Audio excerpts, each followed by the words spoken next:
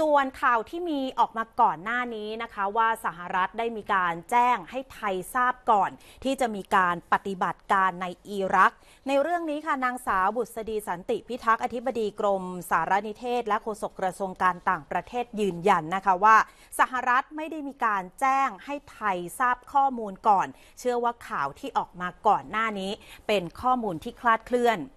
ส่วนการเตรียมความพร้อมสถานการณ์ที่เกิดขึ้นปลัดกระทรวงการต่างประเทศได้เรียกประชุมผู้บริหารกระทรวง เพื่อรับทราบรายงานจากสถานเอกอัครราชทูตที่เกี่ยวข้อง และหารือเพื่อประเมินสถานการณ์ค่ะ ซึ่งในที่ประชุมนั้นก็ได้มีการเน้นย้ำให้สถานเอกอัครราชทูตที่เกี่ยวข้อง ติดตามสถานการณ์ และประเมินพัฒนาการอย่างใกล้ชิด ให้ความสำคัญกับการแจ้งเตือน การติดต่อ และการดูแลความปลอดภัยของคนไทย ที่พำนักอยู่ในอิรักและอิหร่านอย่างทั่วถึง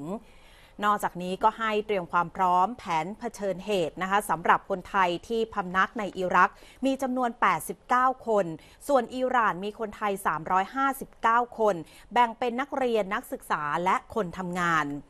นางสาวบุษดีก็ยืนยันด้วยนะคะว่า ในส่วนของกระทรวงการต่างประเทศได้มีการติดตามสถานการณ์และข้อมูลข่าวสารอย่างต่อเนื่อง หากมีความจำเป็นกระทรวงก็พร้อมที่จะเรียกประชุมคณะทำงานศูนย์ประสานงานฉุกเฉิน ซึ่งก็มีหน่วยงานที่เกี่ยวข้องต่างๆ เข้าร่วมประเมินสถานการณ์ และพิจารณามาตรการการให้ความช่วยเหลือคนไทยที่เหมาะสมต่อไป